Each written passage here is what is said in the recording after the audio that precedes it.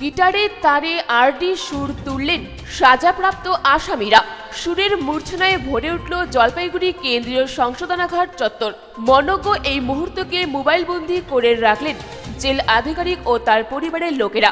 এবারে কেন্দ্রীয় সংশোধনাগারে থাকা সাজাপ্রাপ্ত আসামিদের দিয়ে তৈরি হওয়া মিউজিক ব্যান্ড মাতাবের রাজ্যের বিভিন্ন জলসা। জলপাইগুড়ি কেন্দ্রীয় সংশোধনাগারের আবাসিকদের শীতকালীন উৎসব অনুষ্ঠানে এসে এই ঘোষণা করলেন রাজ্যের কারামন্ত্রী উজ্জ্বল বিশ্বাস। পাশাপাশি তিনি জানান জেলবন্দীদের মনোরঞ্জনের জন্য দমদম কেন্দ্রীয় সংশোধনাগারে একটি এফএম সেন্টার খোলা হয়েছে। এই ধরনের এফএম সেন্টার রাজ্যের অন্যান্য সংশোধনাগারেও খোলা হবে। মন্ত্রীর এই ঘোষণায় খুশির হওয়া আবাসিকদের মধ্যে।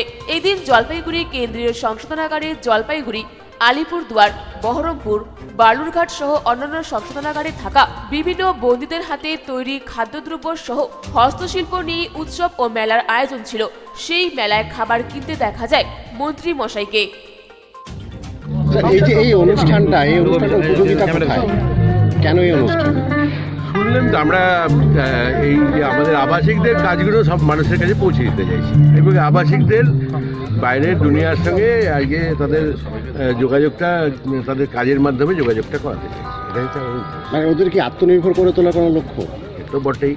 তাদের সারাদিন ধরে সময়টা আজকে সুন্দরভাবে যেন কাটাতে পারে প্লাস তারা আমাদের এখন সবথেকে বেশি আমাদের রাজ্যে আমাদের মুখ্যমন্ত্রী যেটা চান যে আমাদের একটু বেশি দিন ভালো কাজ করার পরে রাখা যাবে না তাদেরকে বাইরে পাঠিয়ে দিতে বাড়িতে তো বাইরে গেলে কি করবে? বাইরে গেলেও তো তাদেরকে একটু দেখতে হবে।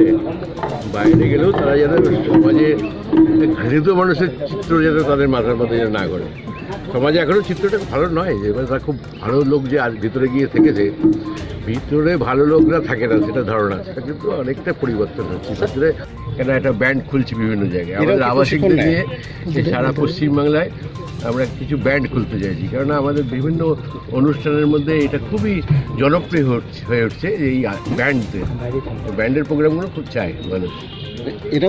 প্রশিক্ষণের ব্যবস্থা থাকছে ভেতরে? না না এরা যারা আছে নিজেরা নিজেরাই প্রশিক্ষিত হয়ে গেছে। Well trend